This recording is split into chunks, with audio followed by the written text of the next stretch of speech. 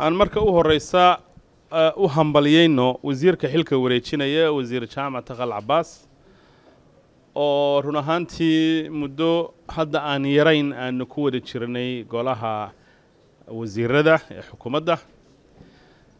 Intii aanu joognay waxaan xasuustaa inkastoo aanu aada u sheegin wixii uu qabtay oo uu inuu dadkii kale u mahad celiyey oo ammaano oo uu wanaagooda qiro wakhti dheer geliyey annagay nagu waajabaysaa markaa bal wixii u soo qabsoomay inaanu qaarkood dul istaagno maadaama aanu kor joogtayn ku lahayn si dhowna aanu wada shaqayn jirnay. Waxaan xasuustaa shirarkii ugu waaweynaa ee jaamac uu fuliyey waxaa la odhan jiray somalias water sector governance conference ayuu qabtay. Halkaas oo marka ay ka dhalanayso aasaaskii wakaaladda biyaha iyo guddidii iyo shaqadii ballaadhnayd ee dhankan ku jahaysnayd waxaa kaloo isna uu juhdi fara badan iyo wakhti fara badan geliyey yagleelidda hanaanka maaraynta suuqa korontada iyo daneeyaasha kala duwan ee korontada ka shaqeeya dowladda iyo baac mushtariga aan dowliga ahayn sidii inta laysaga kaashado. Arrinta enerjiga ama tamarta soomaaliya oo ah mushkilad weyn oo hortaagan horumarka kobaca dhaqaalaha iyo baac mushtariga soomaaliyeed. Sidii xal waare loogu heli lahaa. Arrintaana wakhti fara badan ayaa ka galay. Mana aha arrin fudud in private sectorka iyo daneeyaasha caalamiga sida worlbanka iyo hay'adaha kale i f ayada in laysla meel dhigo oo la jaangooyo hanaankii lagu wada shaqayn lahaa. Taasna wakhti fara badan ayaa ka galay. Ugu yaraan shan iyo soddon arday ayaa tababar ku maqan oo arrimaha biyaha iyo maarayntooda soo baranaya masters dhiganaya sharciyo kala duwan oo iibka korontada iyo sida loo maarayn lahaa iyo regulations ama xeer nidaamayaal ka ritamayana ka ratimayna wakhti fara badan ayaa ka galay. Isaga iyo howlwadeenno run ahaantii wasiir bidhaan waxaan rabaa inaan u qoro inay wasaaraddan joogaan howlwadeenno aada u carbisan oo aqoon leh oo dal iyo dibadba ka soo bartay oo arrintaa ka shaqeeya oo wejiyadooda halkan aan ka arko qaar badan maanta.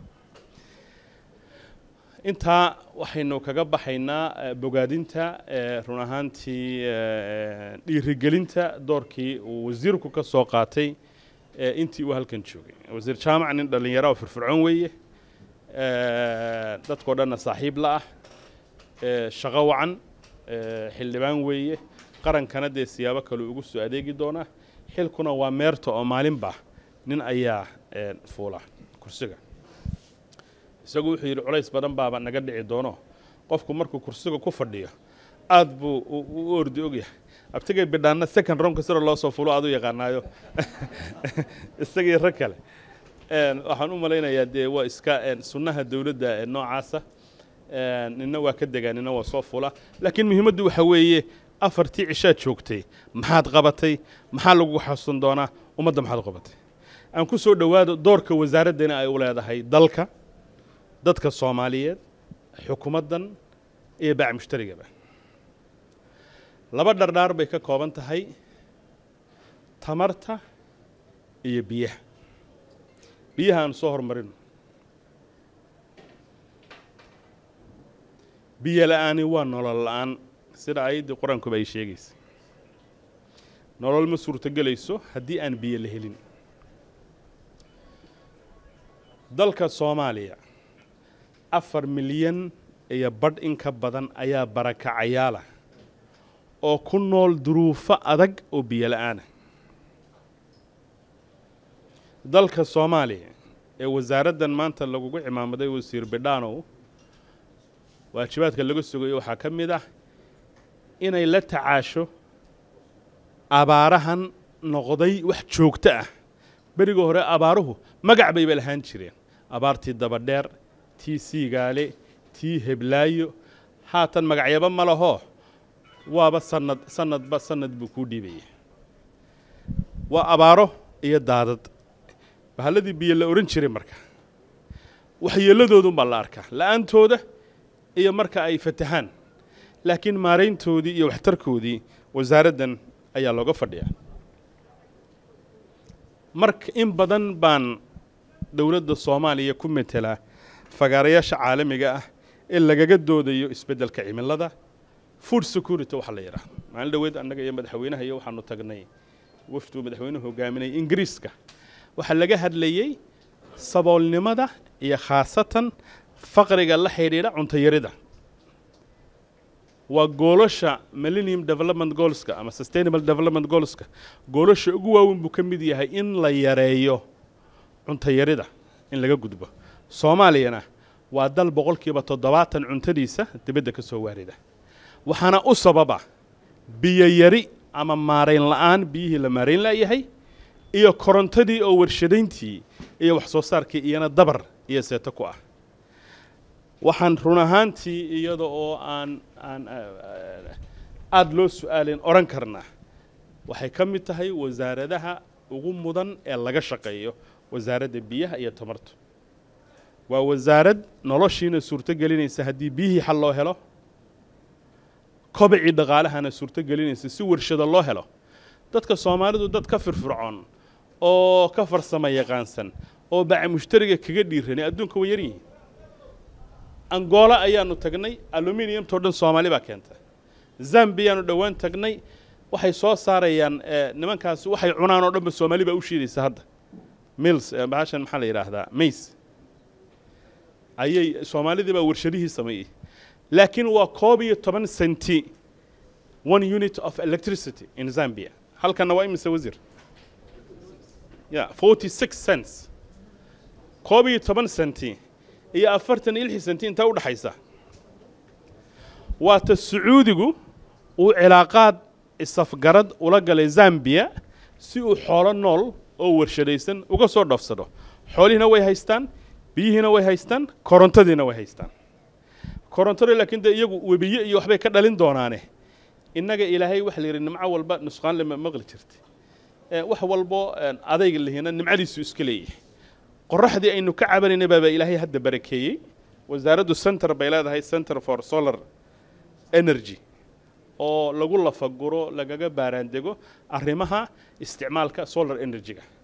Waxaan rabaa inaan idinku bogaadiyo dhammaantiin waad ogtihiine dalka soomaaliya waa dalka koowaad ee saddex enerjiba laga hilgarin karo. Ama tamar. Waa mid laga dheliyey qoraxda mid laga dheliyey dabaysha iyo mid laga dhalinayo isfalgalka labadaa oo badaha laga samaynayo oo hydrogen laga dhalinayo. Teknolojiyaddeeda aada u qaaliya laakiin shan sanno ka bacdi wuu isdhimaya awalba solarka xilliyada qaar lama awoodi jirin. Wasiir bidhaanow markaa waxaanu aada ugu niyadsannahay inaad ka midho dhalin doonto dhammaystiri doonto yoolalkii waaweynaa ee wasaaraddan u yaallay xukuumaddana u ah yoolal heer qarana ummadda soomaaliyeedna ay naga sugayso beesha caalamkuna indhaha nagu hayso.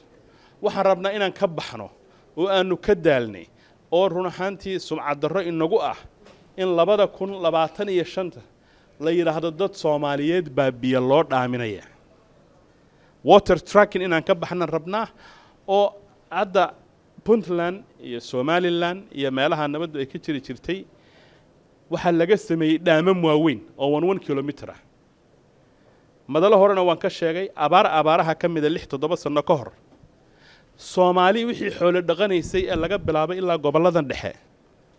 Hiiraan dusheeda. Ilaa iyo awdal inta laysaga yimi.